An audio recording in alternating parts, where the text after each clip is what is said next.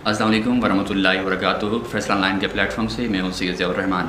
बेटा, आज एक हम इंतहाई आम सवाल पर बात करेंगे और जानने की कोशिश करेंगे कि यू सेट की तैयारी मौसर अंदाज में कैसे की जा सकती है।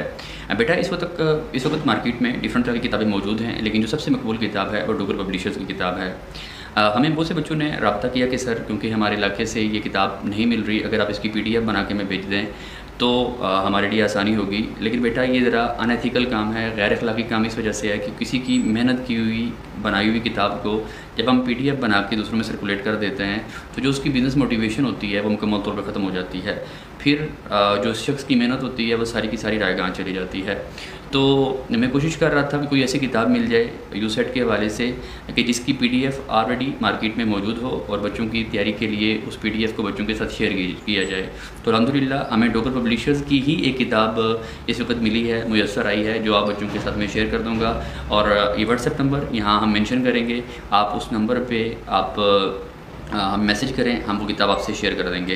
तो अब मैं कुछ टिप्स आपको बताना चाहता हूँ इस हवाले से कि आप कैसे मौसर अंदाज में इसके, इस टेस्ट को पास कर सकते हैं। सबसे पहले जो डोगल पब्लिशर्स ने वहाँ वैकबलरी दी है, आप मैक्सिमम उस वैकबलरी को तैयार कर लें। क्योंकि जो एनालॉजी है, बेटा वोकबलरी के बगैर किसी भी ज़रूरत में हल नहीं हो सकती। जैसे मिसाल के तौर पर अगर आपको जो रिलेशनशिप फाइंड करना होता है, दो चीज़ों के दरमियान पार्ट और होल के दरमियान, अगर आप उन, आपको उनके बारे में पता ही नहीं होगा। अगर आपको पता ही नहीं होगा कि स्प्लिंटर्स एंड फ़िश का ताल्लुक क्या है। स्प्लिंटर्स कहते किस हैं? तो फिर आप किसी भी सूरत में जो है वो उसको पास नहीं कर सकेंगे। तो उसके लिए ज़रूरी है कि जो यू सेट की पी डी एफ़ मैं आपके साथ शेयर करूँगा, उसके शुरू में आप कुछ वेकबलरी के अल्फाज दिए हुए हैं, आप उनको मुकम्मल तौर पर तैयार कर लें। लेकिन सबसे पहले आप ये जानने की कोशिश करें कि असल में एनोलॉजी है क्या। उसके हवाले से हमने एक वीडियो अपडेट किया है। बहुत से बच्चे कहते हैं कि, सर, आपने अपने वीडियो के अंदर जो है वो प्रैक्टिस के लिए हमें एम नहीं दिए हैं। बेटा, हमें इस हवाले से बिल्कुल पता नहीं है कि यू सेट का जो एग्ज़ाम का पेपर है, वो कहाँ से आएगा। तो इस वाले से हम जर्नल डिस्कशन करते हैं, हम बच्चों को बताते हैं कि ये तरीका है, अगर आप इस तरीके को फॉलो करेंगे तो आप आसानी जो है, वो एनालॉजी को हल कर सकते हैं।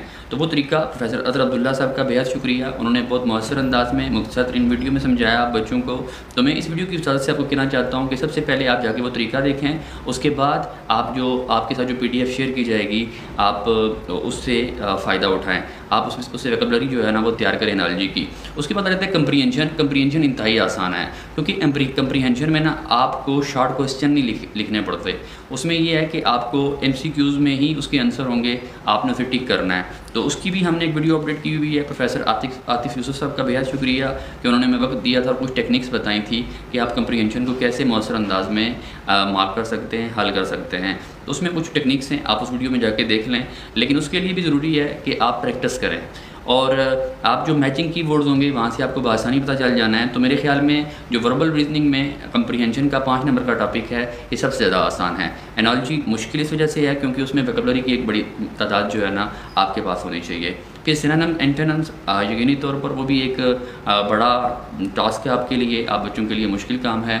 उसकी वजह क्या है कि उसके लिए भी आपको वकबलरी चाहिए। लेकिन इन जल्द हम उसके ऊपर एक मुकम्मल और मुफसल वीडियो लेके आएँगे और आपको बताएँगे कैसे आप सिनानम एंटेनम्स बसानी तैयार कर सकते हैं।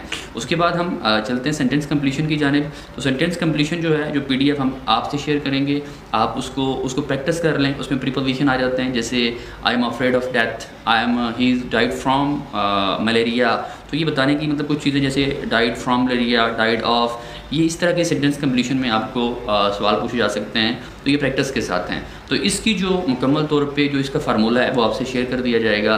अलावा से आ जाता है आपका एनालिटिकल पोर्शन तो इन हम एनालिटिकल पोर्शन पर मुकम्मल तौर पर बात करते हैं वीडियो के अगले हिस्से में।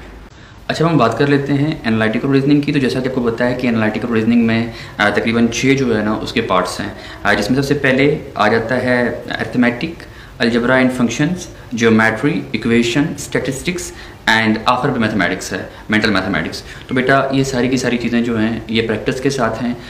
हमारा हमारी कोशिश है कि हम जल्द अज जल्द जो है वो इन चीज़ों को अपडेट करें। आ, लेकिन क्योंकि वक्त बहुत कम है मैं कोशिश कर रहा हूँ कि सो फोर सेप्टेम्बर से पहले पहले जो है वो प्रोफेसर ऑनलाइन पर ये तमाम चीज़ें अपडेट कर दी जाएँ। और एक ख़ास बात ये है कि हम यहाँ टेक्निक्स बताते हैं।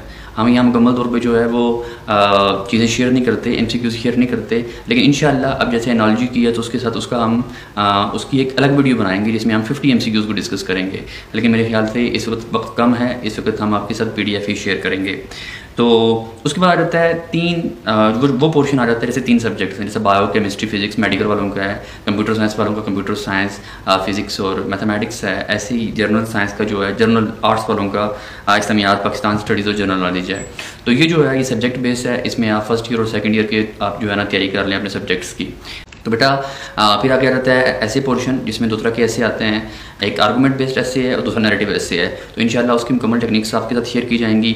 एक ज़रूरी वजात इस वीडियो में करता चलूँ कि असल में हमारी एक पहली वीडियो क्योंकि हमारा चैनल नया है और नए चैनल की वजह से के होने के बावजूद भी अलहमदिल्ला हमारी वीडियोज़ जो हैं वो बहुत से बच्चों तक पहुँच रही हैं। तो एक पहली वीडियो की वजात करता चलूँ, क्योंकि एच ने एक पॉलिसी बनाई थी कि यू सेट के टेस्ट के अलावा कोई भी यूनिवर्सिटी जो है वो एडमिशन नहीं देगी। तो उस वक्त हमने वो वीडियो अपडेट की थी उस पॉलिसी को मद्देनज़र रखते हुए।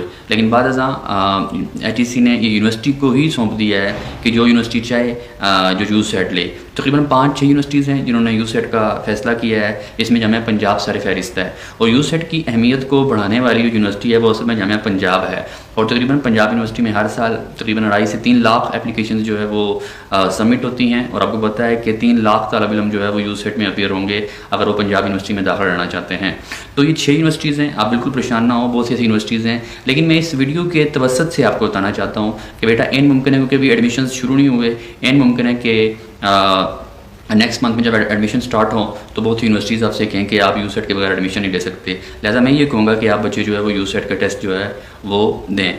इसके अलावा हमारी मुकम्मल तौर पे कोशिश होगी कि हम एक वीडियो बनाएँ, एक क्लास अरेंज करें। लेकिन मुझे लगता है कि इस इस पहले सेशन में ये मुमकिन नहीं होगा। इन अगले साल से या अगर मुमकिन होगा तो हम इस साल से ही अपनी क्लासेस का बाकायदा आगाज़ कर देंगे। हमारे पास जाने माने प्रोफेसर की एक टीम है और आप देख रहे होंगे कि प्रोफेसर ऑनलाइन में मैं सारी बातें खुद नहीं करता। ये कोशिश की जाती है कि मुकम्मल तौर पर जो स्पेशलिस्ट हैं अपने फ़ील्ड के वही बात करें। इसके साथ एक और ज़रूरी वजात मैं करना चाहूँगा, जैसे आपने मैथमेटिक्स की वीडियो देखी होगी, वो इंतहाई बेसिक लेवल की है। तो मैथ के बच्चों के लिए तो वैसे ही हलवा होगी। तो हम बेसिक लेवल्स के कंसेप्ट के लिए मैं किसी भी सूरत में बड़े प्रोफेसरान को तकलीफ़ नहीं दूँगा। वो काम जो है हम एम एस सी के तालब इम से ही लेंगे। तो मुझे उम्मीद है कि एमएससी के तालब इम भी उसको मौसर अंदाज में सर अंजाम देंगे। अगर फिर भी आपको किसी भी जगह पे कोई मसला है तो आप प्रोफेसर ऑनलाइन को फॉलो करें, सब्सक्राइब करें और कमेंट सेक्शन में भी बताएँ। हमारा नंबर आपके पास है। आप किसी भी वक्त हमें मैसेज कर सकते हैं और जैसे ही हम फ्री होंगे हमें वक्त मिलेगा, हम आपको मौसर अंदाज में रिप्लाई करेंगे। डेढ़ सारा ख्याल रखिएगा, जुड़े रहिए प्रोफेसर ऑनलाइन के साथ और तालीम और शोर के सफ़र में हमारा साथ दें। अल्लाह हाफिज़।